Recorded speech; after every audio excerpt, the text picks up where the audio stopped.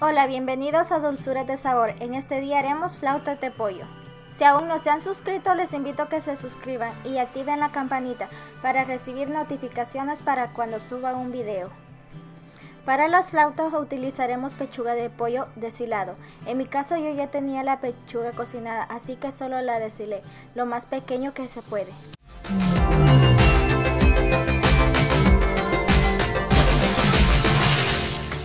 Así que empezamos poniéndole una cacerola a calentar a fuego medio.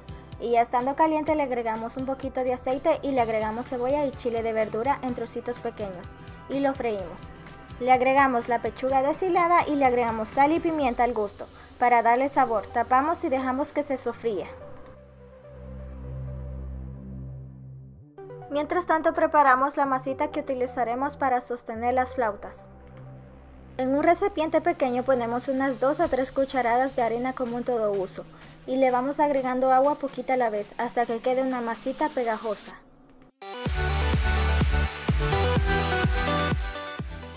Y de tanto en tanto meneamos el pollo para que no se nos pegue. Luego el que ya esté listo lo sacamos en un plato para que fríe un poco para poder hacer las flautas. Ya una vez tengamos el pollo y la masita lista, ponemos a calentar la plancha para ir calentando las tortillas. Las tortillas tienen que ser delgaditas, de las que deseen, incluso las pueden hacer ustedes mismos. Así que ya para las flautas solo las calentamos, cuidando de no dejarlas dorar o quemar.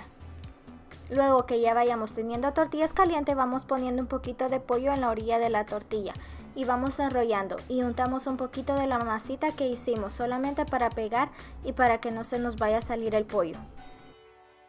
Y así hacemos hasta que se nos acabe el pollo.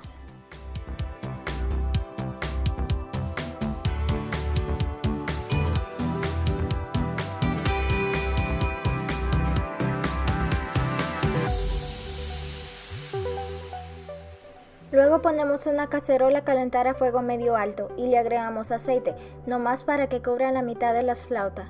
No es necesario ponerle mucho. Ya una vez esté caliente el aceite le vamos agregando las flautas y dejamos hasta que doren. Y luego le damos vuelta y dejamos que doren también del otro lado.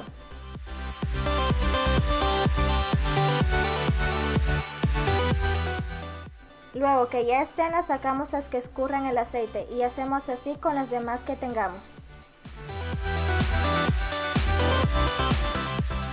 Si hacen bastante flautas, en una bolsa ponemos las que no freiremos y las guardamos en el congelador, teniendo cuidado de no dejarlas mucho tiempo. Luego, al servirlas, si las sirven al instante, solo dejamos que escurran el aceite y la servimos con un arroz y le ponemos lechuga bien picada, también le ponemos queso y crema de la que deseen y también unas rodajitas de tomate. Si no las sirven al instante y se les enfrían, las pueden calentar en el horno de preferencia o en la plancha para que no se les vayan a ablandar. Espero les haya gustado esta receta, así que déjenmelo saber con un like y compartan con sus amigos y familiares. Y no olviden de seguirme en mis redes sociales, aquí en la cajita de información les dejaré los enlaces. Nos vemos en el próximo video.